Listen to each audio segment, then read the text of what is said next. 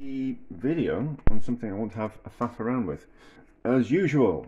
So, I've, I've always got things at the back of the cupboard that I'm meaning to do something with, but I get sidetracked.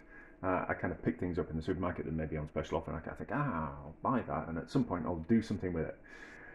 And sometimes they go way past the sell by date, and I use them, and they're, they're kind of fine. But now and again, uh, things just get far too beyond uh, any kind of use. So I've had these um, dried mushrooms in the back of the cupboard for far too long, and they start to go mouldy. And I was kind of like, oh, that's disappointment. I really should have got round to uh, using them sooner. So we can't use those, but I did buy these, these um, porcini, dried porcini mushrooms uh, from Lidl, and I kind of thought, well, if the other mushrooms have kind of slowly over time start to go mouldy, then we really should do something with these.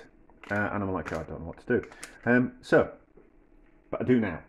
Uh, so what I've done is I've ground them up into a into a powder, put them in the in the spice grinder, and ground them up into a, a powder. I probably could do it a little bit a little bit finer than that, but we'll dig down to the bottom. So all the hard, yeah, so all the woody stuff's come to the top. So like when you're panning with gold, um, the heavy stuff goes to the bottom when you're panning with gold, but if you're um, the stuff that's not as fibrous goes down to the bottom if you kind of give things a bit of a shake around. So if something's a bit fibrous, it's a bit fibrous on top of that. So we'll just give it a shake and then we'll dig around and pick out the stuff from the bottom. So I've ground some up and we're going to add it to some, it's just a plain soup at the moment. So it's just an onion puree with some chicken stock in and some milk and a little bit of pepper and a little bit of salt. So we're going to add that powder to that. And then also we've got this other powder which is the, I made some mushroom ketchup and the mushrooms that were left over, I dried them out and then I pounded them up. So we've got that powder as well. So that's a little bit spicy, a little bit mushroomy, a little bit mushroomy because only a little bit mushroomy because we've strained out the liquid. We cooked the mushrooms in some liquid and then we pureed them and then we squeezed out all the excess juice.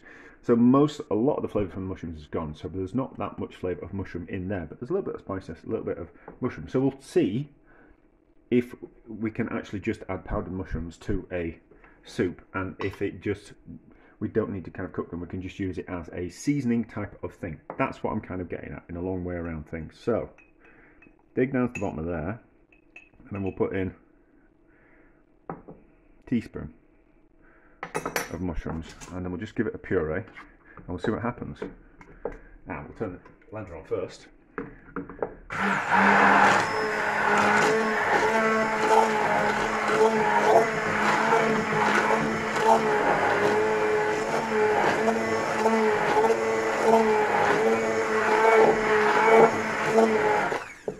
That's hasn't it? So, something to put that on. I don't want to make a mess of my board for, for no good reason. So we'll just put that on there and then we'll give it a taste. We think. And then I've got another batch of soup which we can use with the, uh, the other dried powder. So, it's mushroom soup at the um, at the weekend, so uh, a function. So I'll just be able to take the excess packets of, of this soup, uh, of this um, powders, and powder it down at work, and then just add it to the soup. Yeah, that works. Needs a little bit more. Needs a little bit more to kind of get that full mushroomy kind of flavour. So just pour a little bit more in, but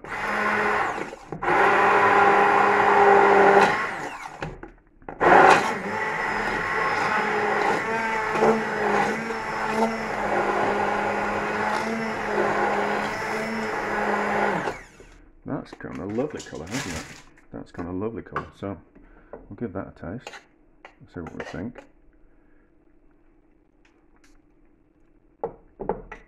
Yeah, that's lovely. So that's lovely. So we've instead of rehydrating the mushrooms, um, we've just relied on the liquid in the soup to um, rehydrate the mushrooms and taste of mushroom. Now, I will add that some of these mushrooms, like morels, they're, they're quite sandy.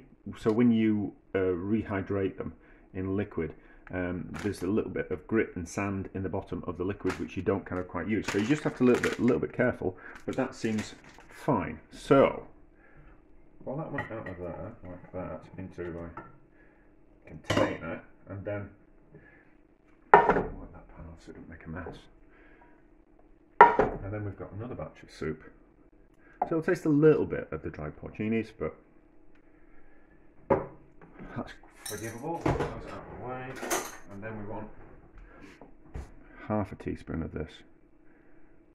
Half a yeah, I think half a teaspoon of that because it's got the the spices in. So this might taste more mushroomy and spicy more than anything else. And I don't want to overspice it, so half a teaspoon to start off with.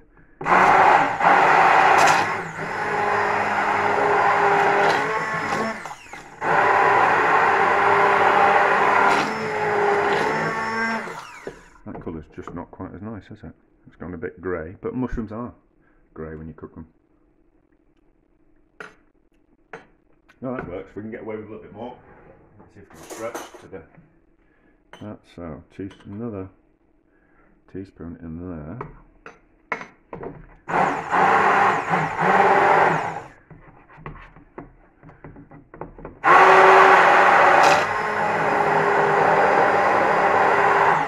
Right, so I'll give that a taste. Not as mushroomy, but I kind of predicted that. So, that's interesting.